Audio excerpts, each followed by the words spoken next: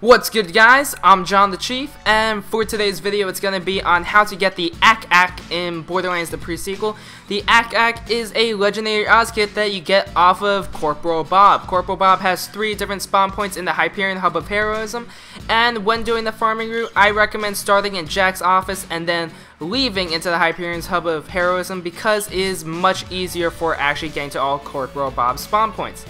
Now, you can see that I actually triggered the spawn point. That was the red dot behind me. I actually forgot to leave behind. So you want to make sure you wait a little bit before actually leaving every single spot you go to because uh, it might take a few seconds for him to actually spawn. So that was kind of a mistake.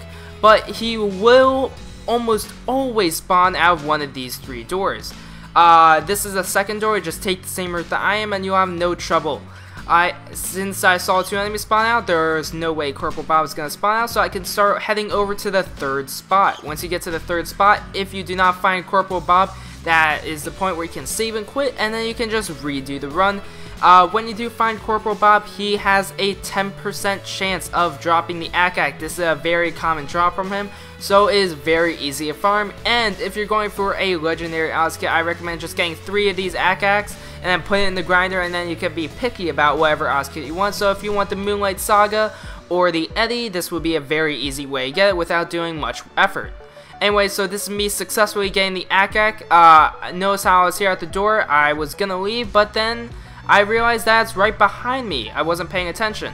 So it does take a few seconds for him to spawn sometimes, so you might want to watch it. Always turn around.